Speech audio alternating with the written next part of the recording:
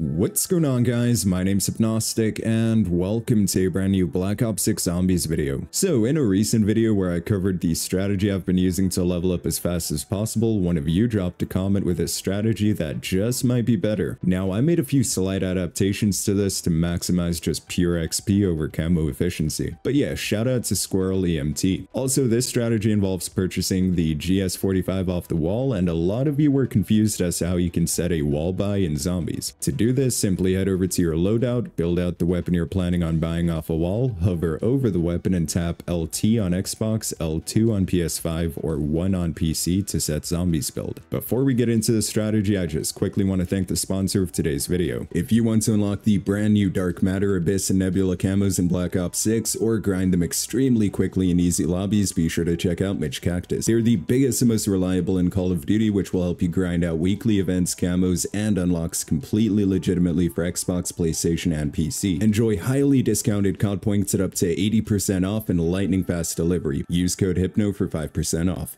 Alright, so we made it to Liberty Falls. First things first, we're going to activate that Rampage Inducer because the goal here is to zoom through the first few rounds as fast as possible. Actually, through all the rounds, as a matter of fact. So let's just come over here, get some extra Zombros to spawn in from this old motel room. There we go. We're currently using the Marine SP. I do have a few more camos to unlock on this thing, so thought we might as well. And of course, it's a great gun for the early rounds. But we will be buying the GS45 off the wall here. I'm pretty sure I threw something up in the intro on how to do that. I've received so many questions as to how to set wall buys. So yeah, hopefully that clarifies things for you guys. So there we go, already onto round two. So we're just going to chill in this spawn area until like round five or six and uh, then we'll make our way over to the church. Ooh, there we go. By the way, if you end up getting a double points while you're in the spawn area, definitely open this door if you have the essence for it and um, go for the bonus points Easter egg. So let's just see if we can maybe... Yeah, no way, we're getting it in time. Oh, I just barely made it. okay, all good. Got the bonus points at least. Also, if you sit in this spot right here, you're actually going to have some crazy fast spawns for the first few rounds. And of course, the spider waves go by super quick by just sitting in the corner up ahead. Show you guys out once we get to a spider round. Oh, damn, she ain't one-shotting no more, boys. Ooh, yeah, I mean, definitely prefer the ASG over this thing. She's all right, don't get me wrong, but I'd have to pick between this and the ASG, there's a clear winner. And there's a reason why the ASG is already gold and this thing isn't.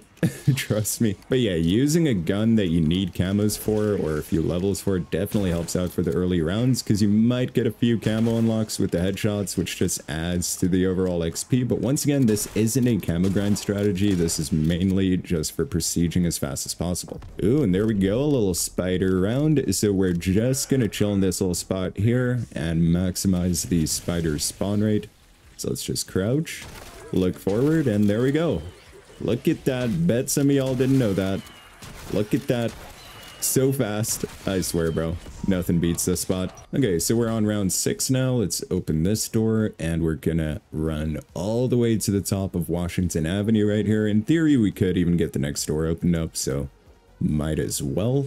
And now we're just going to chill in front of the church until we have enough money to open up the first door and get our GS45s packed. Okay, there we go. On round 7, got the first door open up, and we have enough essence for Pack-a-Punch, so let's go for that quickly. Okay, so we got the GS45 packed now, but there's one issue. You take explosive damage if you don't have PhD Flopper. So now the next objective is to make our way back over to the bank, get that door opened up so we have access to Jug as well, and then we're just going to run over to PhD and grab that.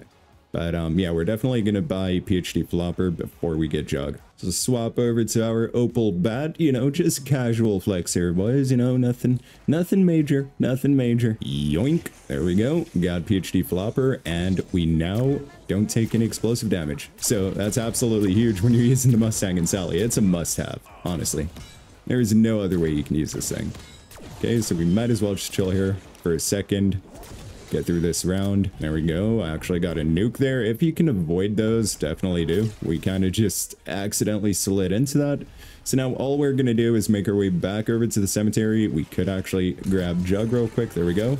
So just make your way over to the cemetery, and take this step right here, and we're going to be chilling on the bank roof. And there we go, boys. We are about six and a half minutes in, and we're already set up and in our little spot here. So pretty much all you do is chill in this back left side of the roof here and smoke all the zombies coming your way. Whenever you have enough salvage to upgrade your gun, guess what? There's a little arsenal right here.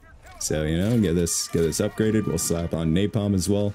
Definitely get this opened up. This is kind of like a safety exit, I like to refer to it as. In case it gets too crowded, you can always drop down, make a circle around, get back to the church, take the zip back across, and you'll be good to go. Okay, so we did run out of ammo. Guess what, though? There's an ammo box right back here.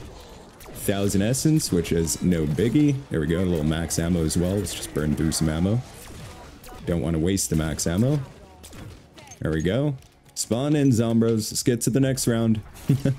Before this despawn, it's a spider round. You're kidding me. okay, so whenever there's a spider round, you could stay up here, but personally, I find you get the fastest spawns in this spot still. So, yeah, this right here is definitely the play, and as soon as it transitions from a spider round back to a normal round, just run back up to the zip, go back to the roof, and uh, chill up there. But yeah, I mean, boys, just look at this.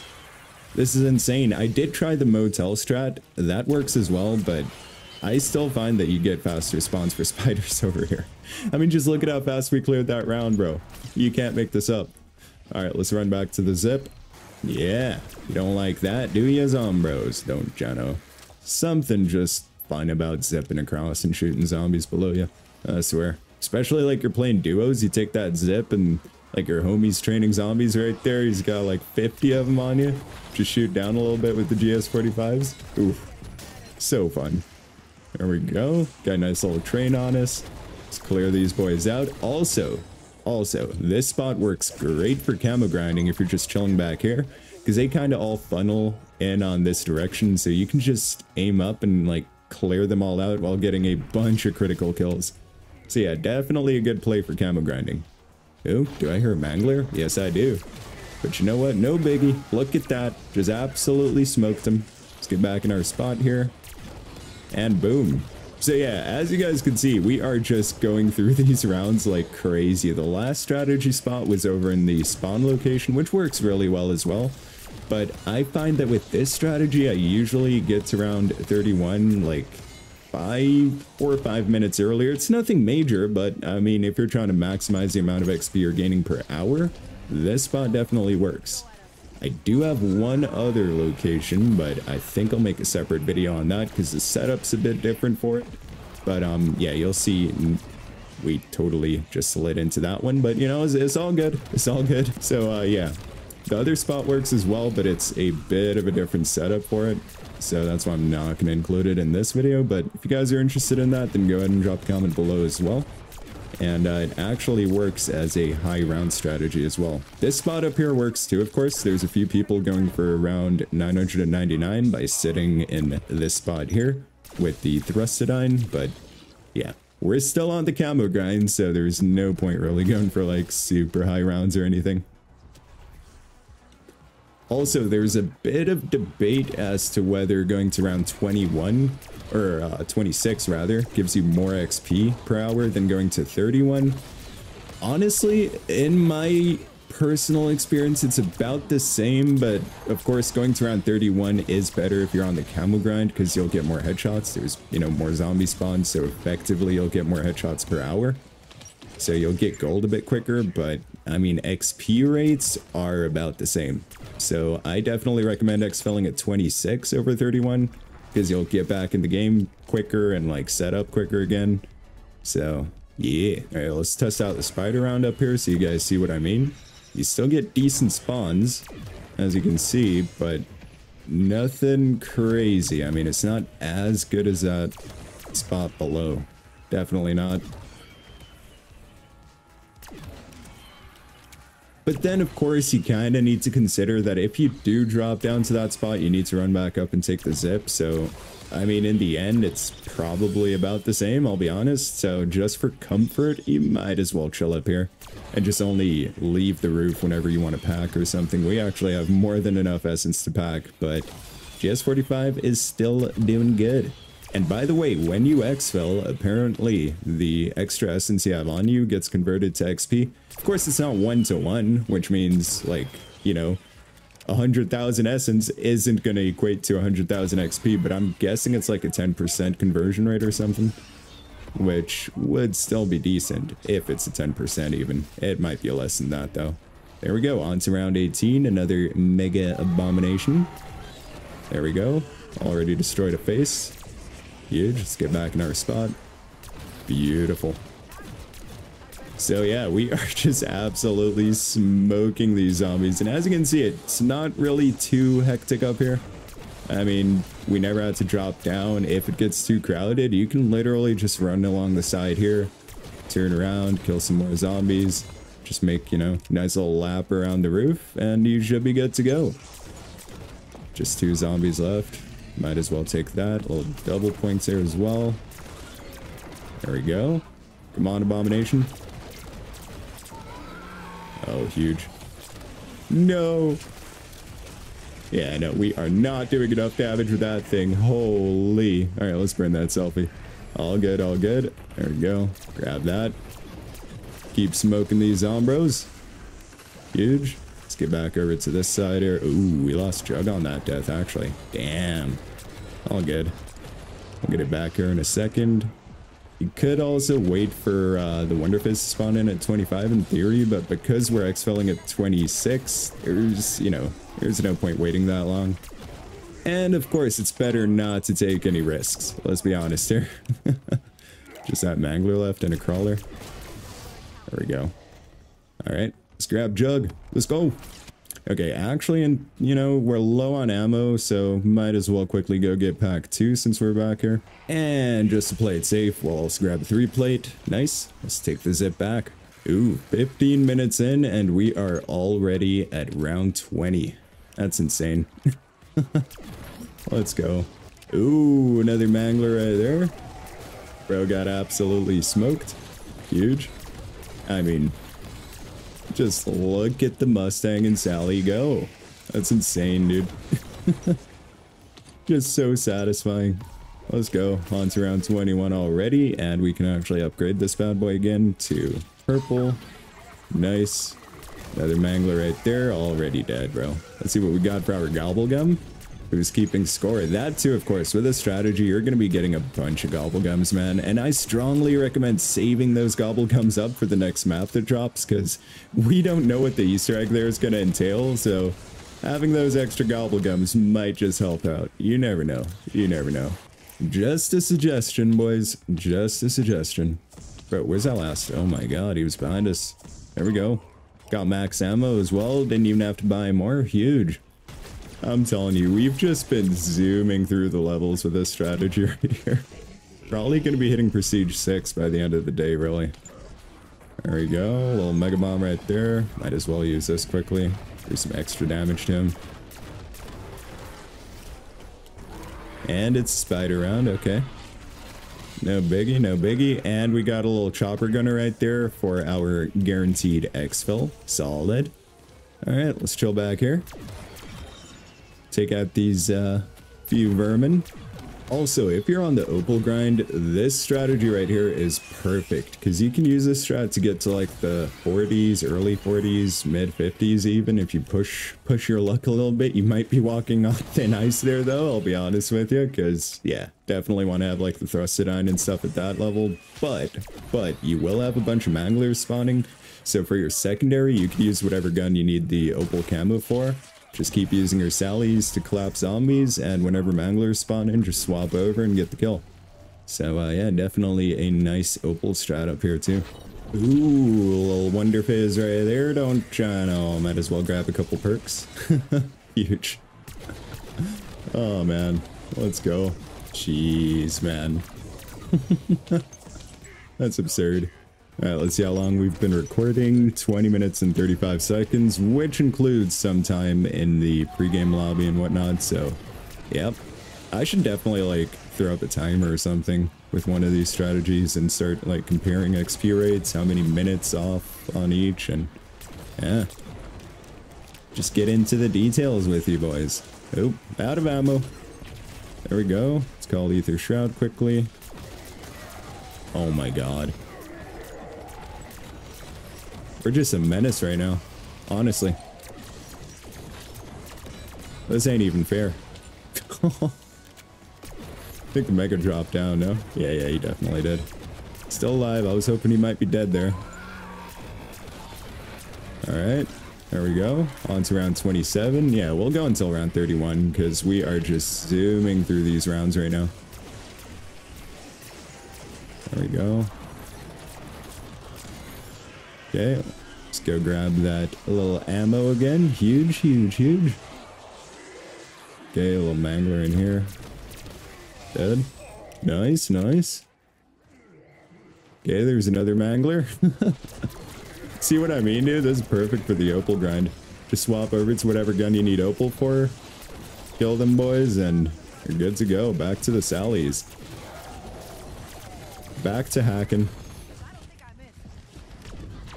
Okay, let's come around here. Jeez, man. Just so satisfying. There we go. That's the last zombie there. Nice, nice, nice. Um, might just buy some extra ammo real quick. And let's get this thing legendary rarity. There we go. Fully upgraded the Sallies already. That's wild. Alright, another spider round. Let's get this one over with real quick. Um, almost feels like you'll have increased spider spawn rates in this corner here. That might just be placebo though. Yeah, probably. Yeah, definitely. Here we go, on to round 29, and we are 24 minutes in. Let's go. Okay, can actually pay attention to the timer, see how long it takes us to get through this round here. Oh my god. there we go, both Manglers dead. Out of ammo though, let's quickly grab some more. Oh my god, dude, they just all piled up there. That's insane. Huge. think there's one more. No? Is that it? On to round 30. Let's go. So that took us... Oh my god, dude. Literally 52 seconds. You're kidding me. There we go. it's about a minute per round, bro. Wild. Of course, no mega or anything. Megas might, you know, take a bit longer, but you don't need to kill those to get through the round. Still might, though. They're kind of annoying. There we go. Huge. Once again, try to avoid the nukes if you can. Just to maximize the amount of kills you're getting, because kills equals more XP. And there we go. On to round 31. So just open the zip right here. So that once you pop the exfil, you can just climb on top of here and take the zip back across. Just makes it easier. There we go. Let's call in that little exfil. Huge. Okay, climb up here. There we go. Also, if you don't have a chopper gunner, I'll actually show you guys a little strat here. That really helps out for solos if you're exfilling or if you're struggling with exfilling. So let's come up here. There we go. Then you just want to run across to this spot right here. And as you can see on that chandelier, that glowing thing, that's a nuke. So let's quickly shoot that. That's going to spawn in a nuke.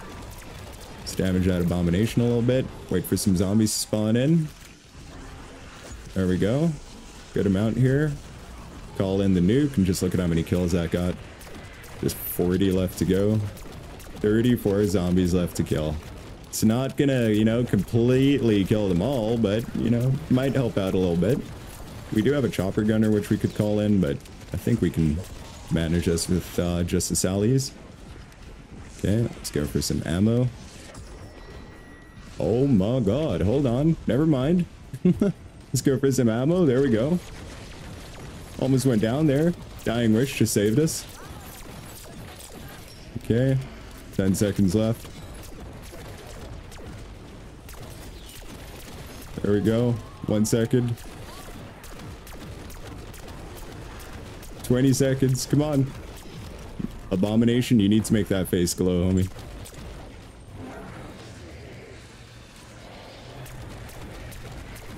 There we go. We got him. Nice. Set that exfil, and there we go. Took us about 27 minutes and 10 seconds. Huge. So about a minute and a half quicker than the spawn strategy. Not bad at all. So it is a bit faster to get to round 31 with this. All right, let's see how much XP we gained. Okay, there we go. 9,000. 37,499 XP for just 27 minutes of work. That's insane. You could even speed it up further if you're playing a bit more efficiently than I was there. Also, if you avoid more nukes, that's extra XP on top of it. Plus, once again, if you load in with a gun that you still need some camos for, like in my case, we need a bunch for the Marine SP, that's going to be a huge help. So uh, yeah, that's going to be it for this strategy. If it was helpful to you guys, and go ahead and hit that like button, comment with any suggestions for future videos, and don't forget to subscribe to show your support to the channel. I hope you guys have a wonderful day or night wherever in the world you are, and as always, goodbye.